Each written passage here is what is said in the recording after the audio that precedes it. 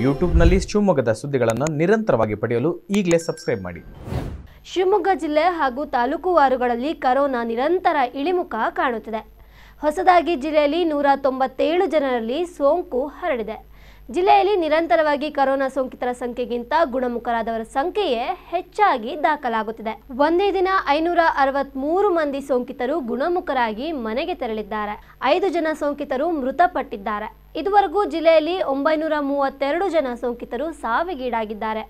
ಶಿವಮೊಗ್ಗದಲ್ಲಿ ಎಂಬತ್ತ ನಾಲ್ಕು, ಭದ್ರಾವತಿಯಲ್ಲಿ ನಲವತ್ತೊಂಬತ್ತು ಜನರಲ್ಲಿ ಸೋಂಕು ಹರಡಿದೆ.